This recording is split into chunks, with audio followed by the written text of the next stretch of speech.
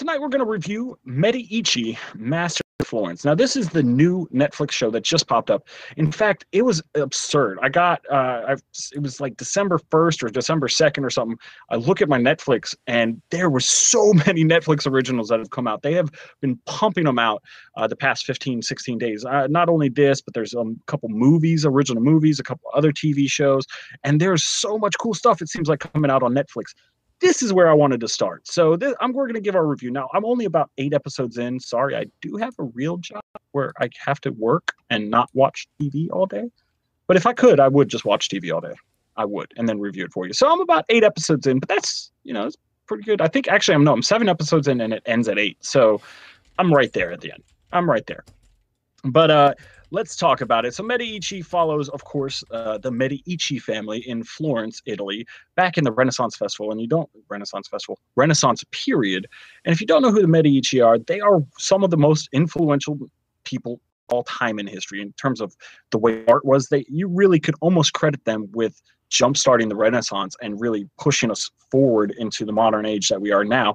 Because if you look at the timeline, that was right, you know, the Dark Ages not so good for like technology and freedom of speech and you know people you know expressing themselves and stuff. And the you know the the trap the the exchange of ideas that's what i meant to say is it wasn't really happening during the dark ages. And this is really where the exchange of ideas started to bloom and blossom and really just go spread worldwide. Also you, you got to look at other things that were happening around there. I'm not going to get history on you but the world was getting connected more at that time than it had ever been um, prior to like the you know since the Roman Empire. Uh, and so this takes place in Florence, Italy, uh, with the Medici family's rise to power, and it kind of focuses a little in the beginning about the main character's father, and then it sh- shifts over to him taking over the family. So this show actually is starring Dustin Hoffman and Richard Madden. You might know Richard Madden from Game of Thrones. He was Robb Stark. Uh, that's who I was for Chris uh, Christmas. that's who I was for Christmas. That's who I was for Halloween. Uh, and, and so they do a very good job. So let's start breaking down. Let's just start off right with the acting. The acting is good. I mean, Dustin Hoffman, excellent actor. Richard Madden, amazing actor. All the character actors. Um, the person who plays Contessa, she's amazingly beautiful, and she plays a great role. Uh, Lorenzo Medici, he's a great role. I mean, everybody fits their parts except for one glaring detail that actually gets me. It really does get me. And that's the accents. Dustin Hoffman has no accent. Richard Madden has a British accent. Half the people have Italian accents. Everybody has different accents, even though they're all part of the same family. So that's if I had to gripe on one thing, everything else is done perfectly.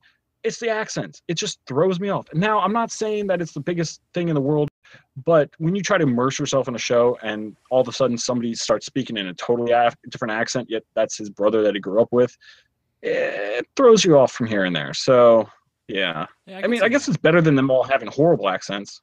But maybe they grew up in different places because they're a rich family. No. They just send them all. No, they grew up in their same place. Okay. Mm, nah. but, but uh, yeah, so that acting though, other than that, is like really this. Brian, with a this isn't even an accent. Yeah. No, that's not even an accent. That's you talking weird. But yeah, so that's the acting. Eh?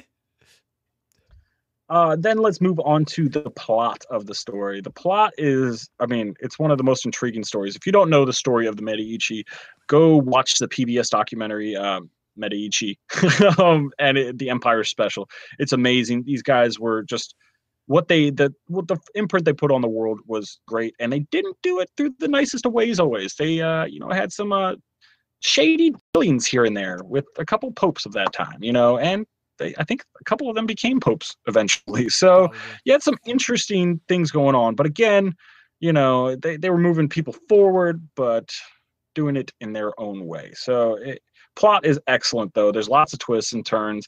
It, it takes you the direction you think it's going, and then boom, 180. And I, I enjoyed it so far. So that's been the plot has moved smoothly, but yet hasn't been boring. Uh, so that's uh, there you go. Um, yeah, th- those are the things I'm going to review about it. Now I'm going to give you an overall review. Overall, I'm going to give this show.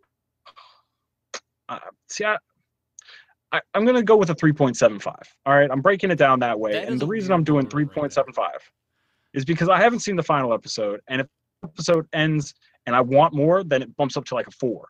And if it ends and I, I'm cool with it ending, then it jumps down to like a 3.5. So I'm kind of in the middle of the two. So it Maybe depends on the ending. All right, so it's an incomplete review. Huh? Maybe 3.78?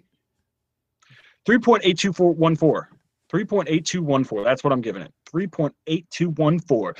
But hit us up. Let us know what you think. Have you seen the rest of it? Are you do you like it as much as I do, or you don't like it as much as I do, or more? Who knows? Hit us up. Let us know. Comments down below. Of course, at What's My Face on Twitter, Google and Facebook. Always good ways of getting a hold of us.